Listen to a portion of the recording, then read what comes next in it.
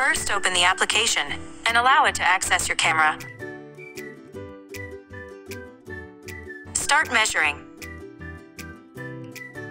Don't let the fingertips cover only LED flashes. LED flashes can't get fingertips images.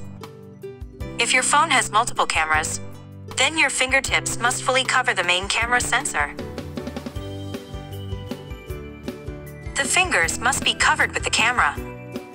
Wait 4 to 8 seconds to monitor the value.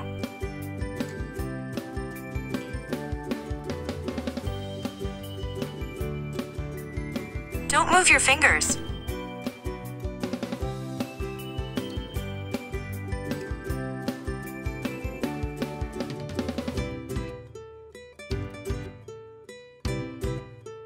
Your measurement is completed. Now you can save it for future recording.